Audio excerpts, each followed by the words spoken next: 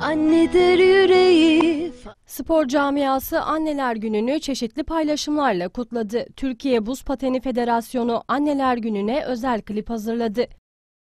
Buz pateni sporcularının annelerinin çocuklarının madalya ve patenleriyle çekilen fotoğraflarından oluşturulan klibin sonunda Ulu Önder Mustafa Kemal Atatürk'ün annesi Zübeyde Hanım'ın fotoğrafına yer verildi. Türkiye Futbol Federasyonu, Türkiye Voleybol Federasyonu, Türkiye Handbol Federasyonu da Anneler Günü için mesajlar yayımladı. Mesajlarda Anneler Günü kutlandı, hayatımızdaki en değerli varlıklarımızın anneler olduğu ifade edildi.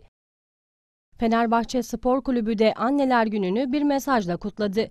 Sonsuz sevgi, eşsiz şefkat ve tarifsiz fedakarlığın karşılığı olan her daim iyi dilekleriyle en büyük destekçimiz annelerimiz. Ulu önderimiz Gazi Mustafa Kemal Atatürk'ün annesi Zübeyde Hanım başta olmak üzere bugün aramızda olmayan annelerimize rahmet diler, şehit ve gazi annesi büyüklerimizin önlerinde saygıyla eğilir, tüm annelerimizin anneler gününü kutlarız. İyi ki varsınız.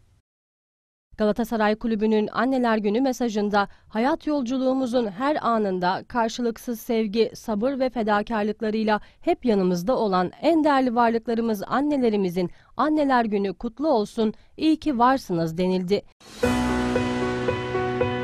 Beşiktaş Spor Kulübü de bir klip yayımladı. Annesi Zübeyde Hanım ve kız kardeşi Makbule Hanım'ı Beşiktaşlılara emanet ederek